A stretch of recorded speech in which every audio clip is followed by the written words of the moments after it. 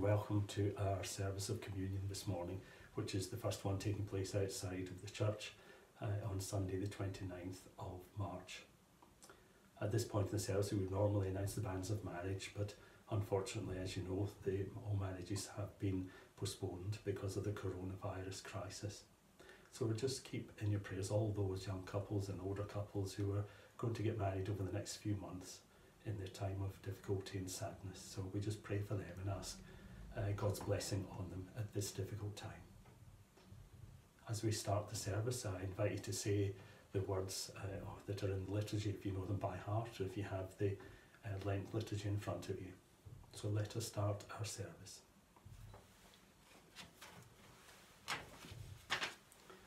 In the name of the Father, and of the Son, and of the Holy Spirit. Amen. The Lord be with you. The sacrifices of God are a broken spirit, a broken and contrite heart, O God, you will not despise. The prayer of preparation. Almighty God, to whom all hearts are open, all desires known, and from whom no secrets are hidden, cleanse the thoughts of our hearts by the inspiration of your Holy Spirit, that we may perfectly love you and worthily magnify your holy name through Christ our Lord. Amen. And our collect for today. Gracious Father, you gave up your Son out of love for the world. Lead us to ponder the mysteries of his passion, that we may know eternal peace through the shedding of our Saviour's blood, Jesus Christ our Lord. Amen. And our reading today is taken from the Gospel of John, and it tells the story of the death of Lazarus. It's quite a long reading. Now, a certain man was ill, Lazarus of Bethany, the village of Mary and her sister Martha. Mary was the one who, who anointed the Lord with perfume and wiped his feet with her hair. Her brother Lazarus was ill. So the sister sent a message to Jesus Lord, he whom you love is ill. But when Jesus heard it, he said, This illness does not lead to death. Rather, it is for God's glory, so that the Son of God may be glorified through it. Accordingly, though Jesus loved Martha and her sister and Lazarus, after hearing that Lazarus was ill, he stayed two days longer in the place where he was. Then after this he said to the disciples, Let us go to Judea again. The disciples said to him, Rabbi, the Jews were just now trying to stone you, and are you going there again? Jesus answered, Are there not twelve hours of daylight? Those who walk during the day do not stumble, because they see the light of this world. But those who walk at night stumble, because the light is not in them. After saying this, he told them, Our friend Lazarus has fallen asleep, but I'm going there to awaken him. The disciples said to him, Lord, if he's fallen asleep, he will be all right. Jesus, however, had been speaking about his death, but they thought that he was referring merely to sleep. Then Jesus told them plainly, Lazarus is dead. For your sake I am glad I was not there, so that you may believe. But let us go to him. Thomas, who was called the twin, said to his fellow disciples, Let us also go, that we may die with him. When Jesus arrived, he found that Lazarus had already been in the tomb for four days. Now Bethany was near Jerusalem, some two miles away, and many of the Jews who had come to Martha and Mary to console them about their brother. When Martha heard that Jesus was coming, she went and met him, while Mary stayed at home. Martha said to Jesus, Lord, if you had been here, my brother would not have died. But even now I know that God will give you whatever you ask of him. Jesus said to her, Your brother will rise again. Martha said to him, I know that he will rise again in the resurrection of the last day. Jesus said to her, I am the resurrection and the life. Those who believe in me, even though they die, will live. And everyone who lives and believes in me will die. Do you believe this? She said to him, Yes, Lord, I believe that you are the Messiah, the Son of God, the one coming into the world. When she said this, she went back and called her sister Mary and told her privately, The teacher is here and is calling for you. And when she heard it, she got up quickly and went to him. Now Jesus had not come yet to the village, but was still at a place where Martha had met him. The Jews who were with her in the house consoling her saw Mary get up quickly and go out. They followed her because they thought that she was going to the tomb to weep there. When Mary came to where Jesus was and saw him, she knelt down at his feet and said to him, Lord, if you had been here, my brother would not have died. When Jesus saw her weeping, and the Jews who came with her also weeping, he was greatly disturbed in spirit and deeply moved. He said, Where have you laid him? They said, Lord, come and see. Jesus began to weep. So the Jews said, See how he loved him. But some of them said, Could he not could not he who opened the eyes of the blind man have kept him from dying? Then again Jesus, greatly disturbed, came to the tomb. It was a cave, and a stone was lying against it. Jesus said, Take away the stone. Martha, the sister of the dead man, said, Lord, already there is a stench because he's been dead for four days. Jesus said to her, Did I not tell you that if you believed, you would see the glory of God? So they took away the stone. And Jesus looked upwards and said, Father, I thank you for having heard me. I knew that you always hear me, but I've said this for the sake of the crowd standing here, so that they may believe that you sent me.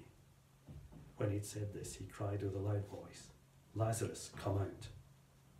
The dead man came out, his hands and feet bound with strips of cloth, and his face wrapped in a cloth. Jesus said to them, Unbind him and let him go. Many of the Jews, therefore, who had come with Mary, had seen what Jesus did, believed in him.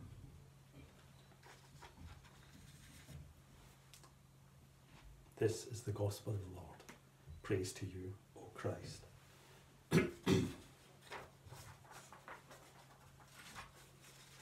Just wanted to reflect for a few moments on that story. It's one of the well known stories in the Bible, this raising of Lazarus. And there are many threads to the story as well, such as friendship, Christ's humanity, and his power in raising Lazarus. And also, the story in some way prefigures Jesus' own resurrection. But what I wanted to focus on today was Jesus' compassion. In the reading we've just heard, we realise that Jesus felt compassion, not only in a spiritual level, but on a very human level too. We learn from John, John's narrative that he wept with his friends Mary and Martha over the loss of their brother Lazarus. Was he weeping for Lazarus? Or because he was feeling the despair of his two friends who had lost their brother?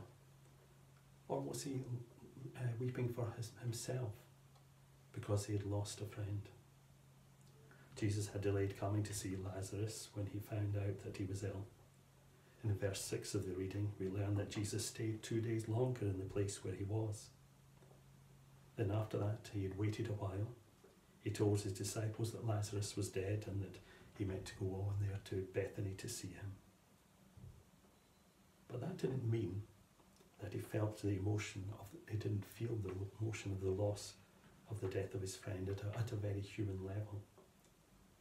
The story helps to reveal God's glory and Jesus' messiahship, but it also demonstrates God's compassion for all of his people, each at a very individual level. Compassion is often sadly lacking in our world today. And recently, our lack of compassion is demonstrated by the single acts of unkindness that we've seen happening across our country during this coronavirus crisis. It may have been fueled by fear, but that doesn't excuse it.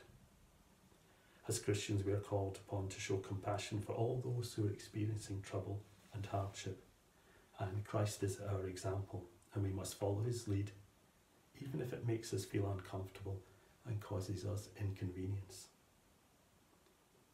You may know the story of Max Kolbe, who was a Roman Catholic priest who was sent to Auschwitz by the Nazi regime.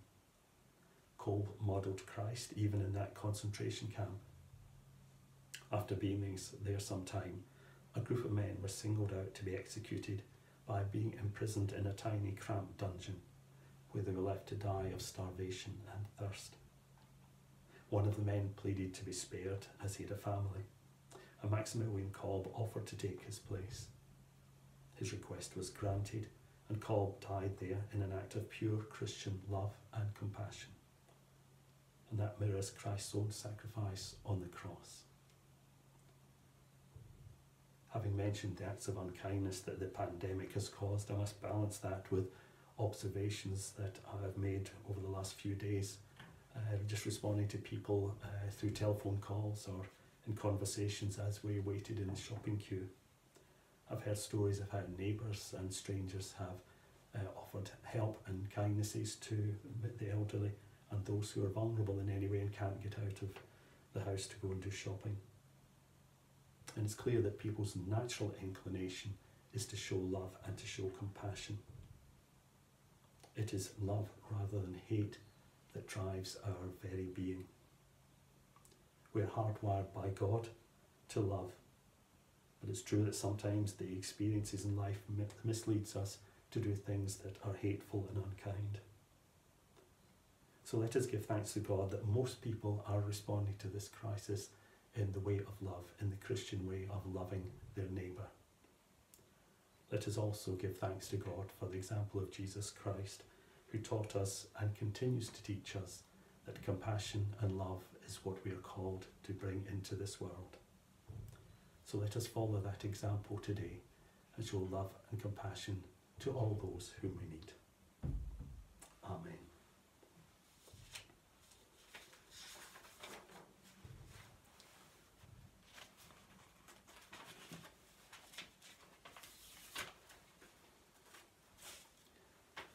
And now we use the shortened version of the Creed. Do you believe and trust in God the Father, source of all being and life, the one for whom we exist? We believe and trust in Him. Do you believe and trust in God the Son, who took our human nature, died for us, and rose again? We believe and trust in Him. Do you believe and trust in God the Holy Spirit, who gives life to the people of God and makes Christ known in the world? We believe and trust in Him. This is the faith of the Church. This is our faith. We believe and trust in one God, Father, Son, and Holy Spirit. Amen. Come now to our time of prayer. Let us pray.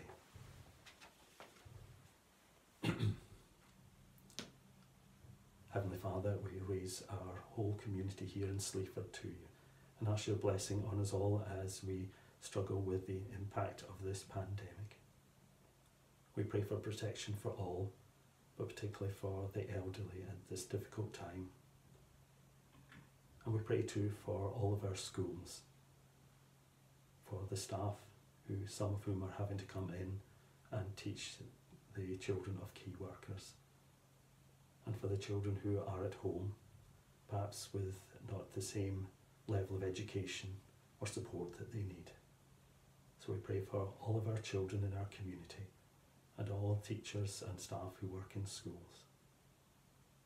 And we pray too, Lord, for all those who continue to work as key workers in our shops. And we pray for safety for them as some people get frightened and agitated and aggressive. So we ask the blessing on them as they do this very necessary work. And we pray too for those who work in banks, making sure that the financial system continues. And we particularly raise to you, Lord, those who, all those who work in the National Health Service in whatever capacity, as they put themselves in danger of having to go in and provide support and care and medical support to all those who are ill for whatever reason, whether that's coronavirus or other diseases and illnesses. So we pray protection for them and we ask your blessing on them as they do this very necessary work.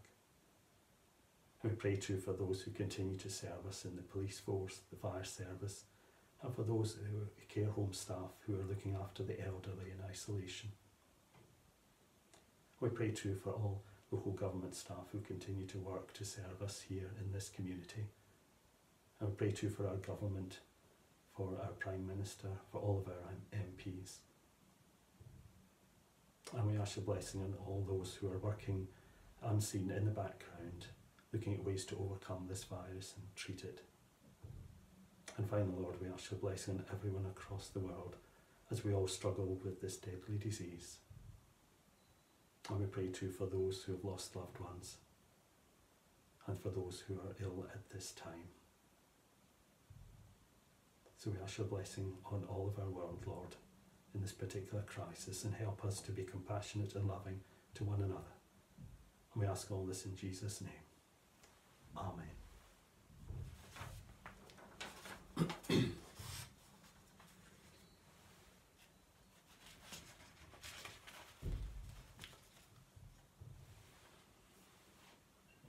Come now to our sacrament of communion, the peace.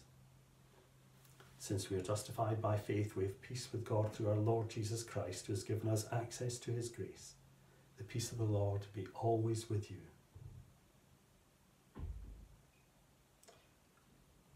Yours, Lord, is the greatness, the power, the glory, the splendour, and the majesty. For everything in heaven and on earth is yours. All things come from you, and of your own do we give you.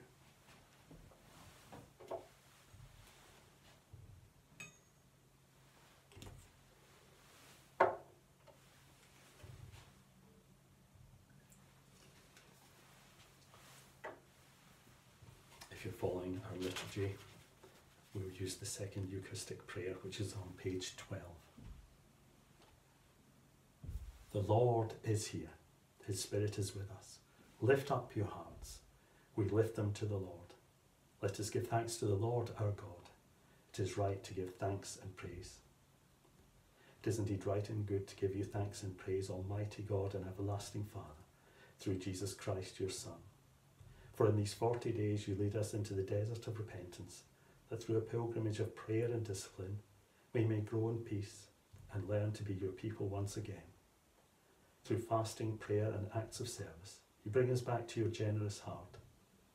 Through study of the Holy Word, you open up our eyes to your presence in the world and free our hands to welcome others in the radiant splendour of your love. As we prepare to celebrate the Easter feast with joyful hearts and minds, we bless you uh, for your mercy and join with saints and angels forever praising you and saying, Holy, holy, holy Lord, God of power and might, heaven and earth are full of your glory. Hosanna in the highest. Blessed is he who comes in the name of the Lord. Hosanna in the highest. Lord, you're holy indeed, the source of all holiness. Grant that by the power of your Holy Spirit and according to your holy will, these gifts of bread and wine may be to us the body and blood of our Lord Jesus Christ, who in the same night that he was betrayed took bread, gave you thanks, he broke it and gave it to his disciples, saying, Take, eat, this is my body which is given for you. Do this in remembrance of me. In the same way, after supper, he took the cup and gave you thanks. He gave it to them, saying, Drink this, all of you. This is my blood of the new covenant, which is shed for you and for many for the forgiveness of sins. Do this as often as you drink it in remembrance of me. Great is the mystery of faith. Christ has died, Christ is risen, Christ will come again. And so, Father, calling to mind his death on the cross, his perfect sacrifice made once for the sins of the whole world, rejoicing in his mighty resurrection and glorious ascension, and looking for his coming in glory, we celebrate this memorial of our redemption. As we offer you this, our sacrifice of praise and thanksgiving, we bring before you this bread and this cup, and we thank you for counting us worthy to stand in your presence and serve you. Send the Holy Spirit on your people and gather into one in your kingdom all who share this one bread and one cup, so that we in the company of St. Botolph and all the saints may praise and glorify you forever. Through Jesus Christ our Lord by whom and with whom and in whom, in the unity of the Holy Spirit, all honour and glory be yours, Almighty Father, for ever and ever. Amen. Move now to page 16. We say the Lord's Prayer. Our Father, who art in heaven, hallowed be thy name. Thy kingdom come, thy will be done on earth as it is in heaven. Give us this day our daily bread and forgive us our trespasses, as we forgive those who trespass against us. And lead us not into temptation, but deliver us from evil. For thine is the kingdom, the power, and the glory, for ever and ever. Amen. We break this bread to share in the body of Christ. Though we are many, we are one body because we all share in one bread. Most merciful Lord, your love compels us to come in. Our hands are unclean. Our hearts were unprepared. We were not fit even to eat the crumbs from under your table. But you, Lord, are the God of our salvation and share your bread with sinners. So cleanse and feed us with the precious body and blood of your Son, that he may live in us and we in him, and that we, with the whole company of Christ, may sit and eat in your kingdom. Amen. Jesus, Lamb of God, you take away the sin of the world. Have mercy on us. Lamb of God, you take away the sin of the world. Have mercy on us. Lamb of God, you take away the sin of the world. Grant us peace.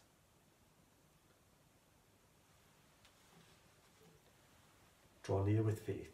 Receive the body of our Lord Jesus Christ, which he gave for you, and his blood, which he shed for you. Eat and drink in remembrance that he died for you, and feed on him in your hearts by faith with thanksgiving.